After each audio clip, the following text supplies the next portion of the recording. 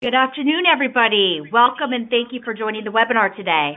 My name is Tammy Zimmel, and I'm the VP of Marketing at the Estimating Edge.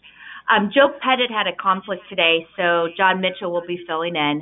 Um, John is our training and technical support specialist who has been with the Edge for four years and has trained over 300 estimators on the Edge, so he's very experienced in this topic today. Um, today he's going to be covering importing, managing images, and showing you a new feature that wasn't in version 10. Um, before we get started, we have a couple housekeeping items, and you can see on your screen here. Um, all lines have been muted. We will be doing a Q&A throughout the webinar. To submit your questions, enter them in the questions window and then that will be answering the questions during the webinar. And at the very end, we'll um, answer the questions that um, are relevant to the entire audience. So feel free to stay on the line since we will answer those questions at the end, some of the questions at the end. When you leave the webinar today, there's going to be a three question pop-up window survey. And we'd love for you to answer this since one of the questions is about what topics you like to see in upcoming webinars. Uh, later on today, I'm going to send you an email that has a recorded link. And then we've added another webinar next for next month. So you'll receive a separate email from the marketing at edgeestimating.com. So space is limited, so you want to make sure that you RSVP to that and reserve your spot. Um, so with that, I'm going to pass that over to John Mitchell, and he's going to start with the webinar today. Thank you. Uh, okay, thank you, Tammy. Um, Hello everyone, I'm John. Thank you for joining the Images webinar. I'm going to be presenting three takeaways today. The first takeaway is importing images into the Edge and organizing those images into folders. The second takeaway will be cropping an image and using that cropped image as a hyperlink. And the third takeaway will be comparing two images by overlaying one over the other. Okay, let's get started with the first takeaway, which is importing the images into the Edge and organizing those images into folders. Uh, the Edge was designed uh, to import images three different ways, and um, then you can organize those images in folders uh, to make them much easier to access. In the real world, um, a lot of customers have many, many images in their bids. So being able to organize them easier makes it much faster. So let's get started with the first way to import images, and that's when you're creating a new bid. So I'm going to click on the new bid button to create the new bid, and I'm going to give it a name. I'm going to take my caps lock off and give it a new name and then I will click the Add Images button to import the images.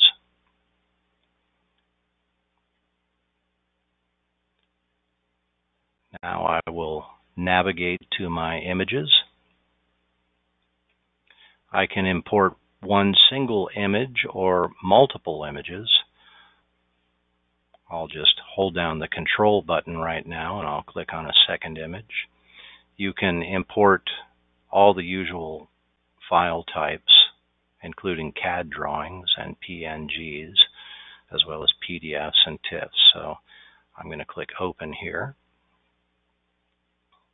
Here are my images. These are the thumbnails. To preview an image, just click on a thumbnail and you are previewing the image.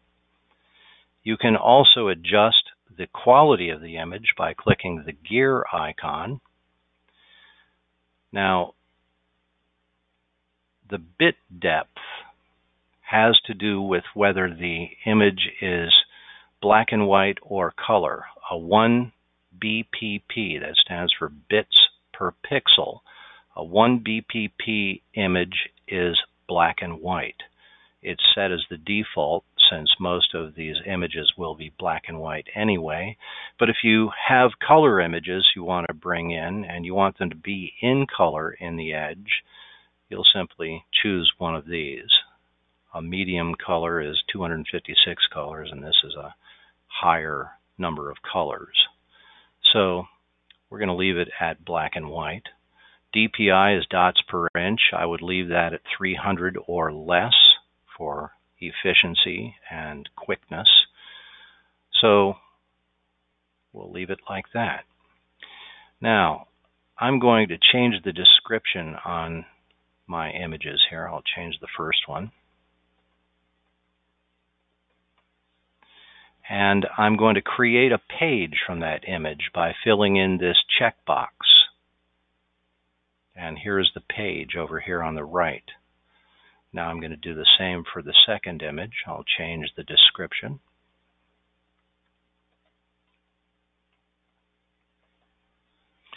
And I will create a page by filling in the checkbox. Now when I click continue, I'll have two pages, each with an image in the page.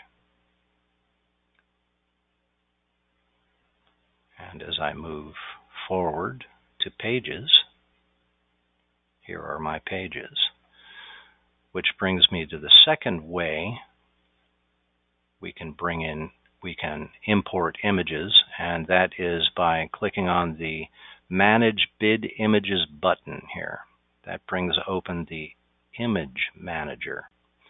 So I'm going to bring in a third image. I'm going to import that third image by clicking Add Image and navigating to a third image. I'll change the description.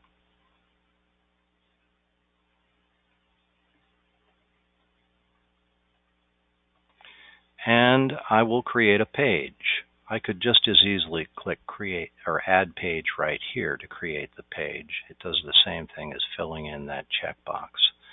And I will click continue. Okay, so you see I have three pages here.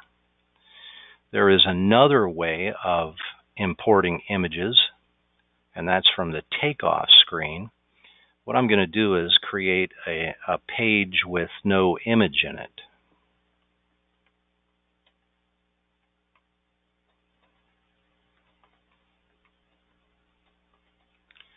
And I'll click Save. Now I will move forward and I will add a condition.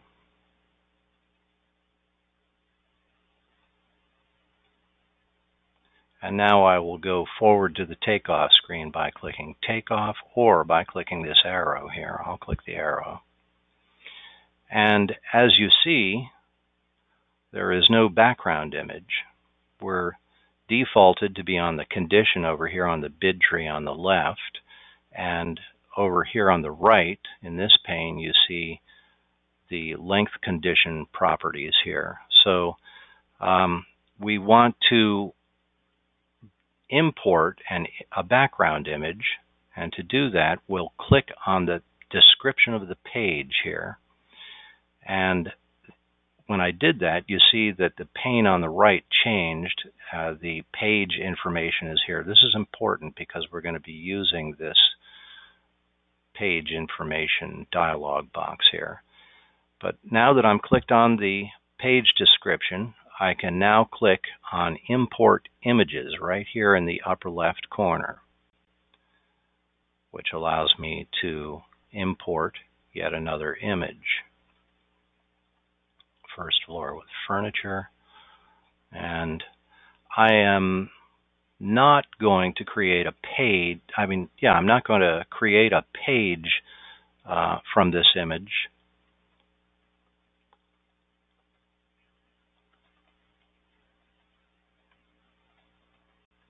Because I've already created the page. I'm just adding this image to the page I just created.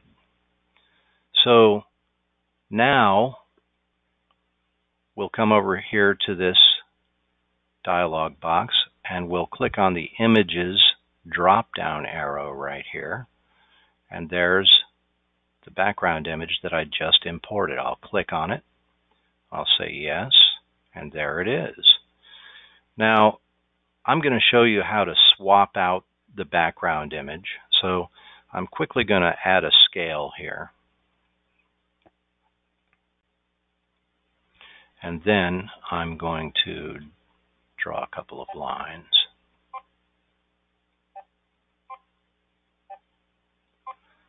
Okay, so now if we want to swap out the background image, we just come back over here. First we click on the page description, then we come back over here and we can swap out the background image. I wanted to show you that because it's important to note that you don't lose the, mem the measurements that you put in here at all. They don't change at all. They're still there. Okay, so you've seen how to import the image. Now let's go to see how we can um, uh, organize the images in folders. So let me click back in time and go back to Pages. And I'll click the Manage Bid Images button again. And this time I'm going to add a multiple page PDF. It's got 14 pages. I've got a 14 pager here. It imports five pages at a time. These are the first five. Now it's working on the second five. Then it will bring in the last four. You could just as easily bring in a hundred images. Um, you, if you don't want to use all of these images, let's say you have an image set with 130 images and you only need 92 of them, you can just click the X in the upper left corner on each thumbnail to delete that image. I'm going to bring in all four of these images though.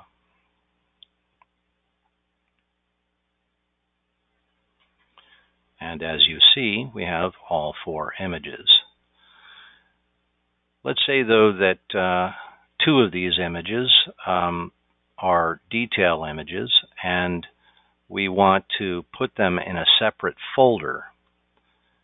I'm going to quickly change the description on each of these two.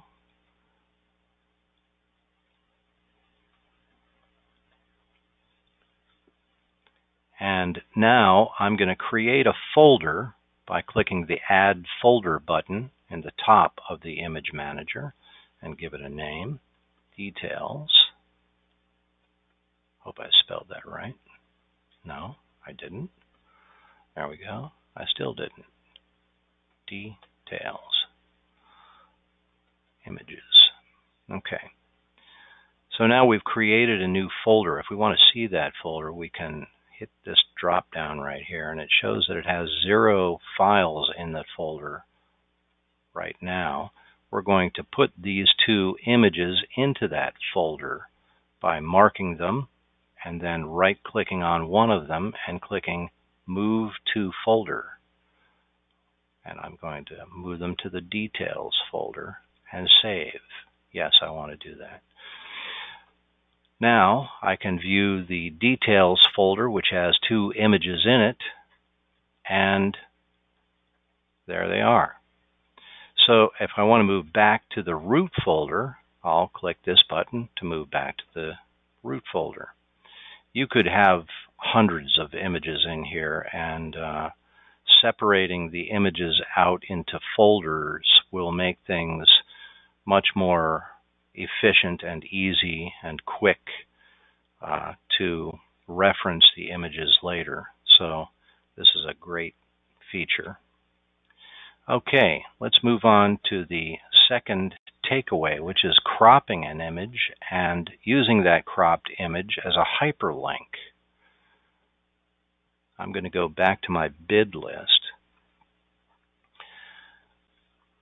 What I mean by cropping an image and using it as a hyperlink is like maybe if you have detail images and you want to attach those detail images to a background image in the takeoff screen, you'll have you'll be able to attach a hyperlink directly to those detail images.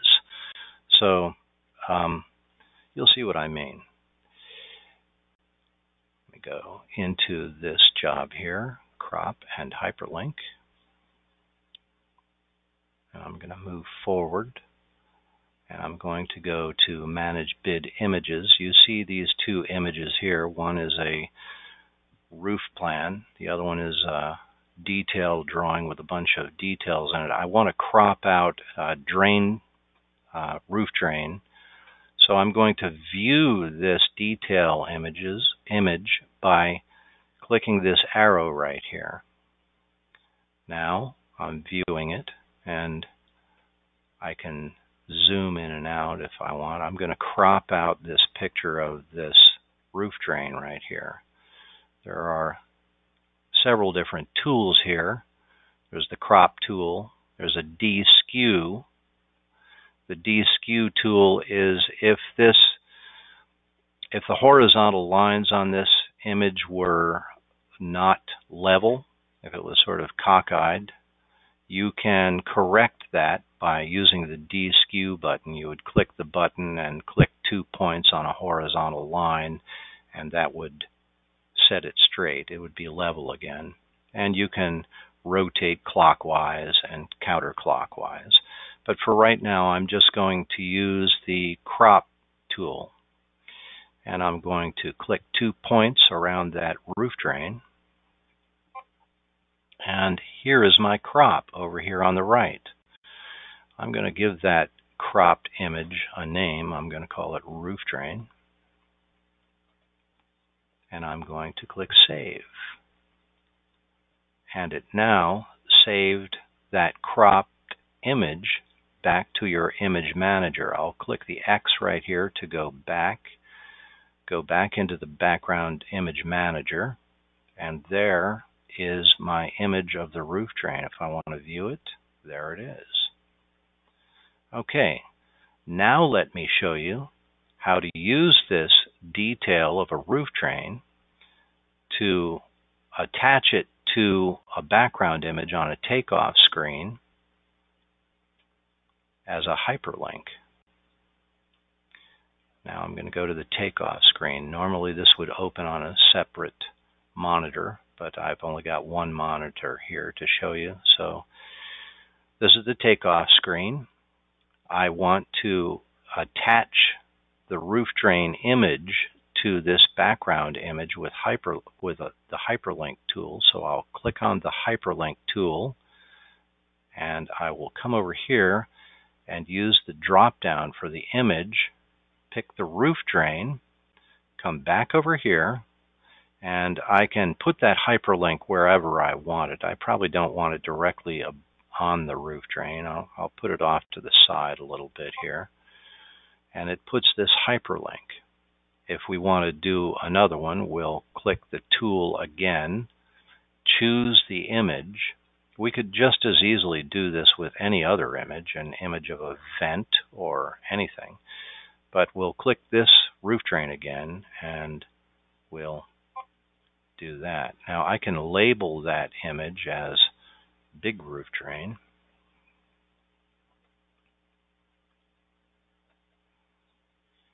And apply that label. And I can select this hyperlink and give it a label, small roof drain,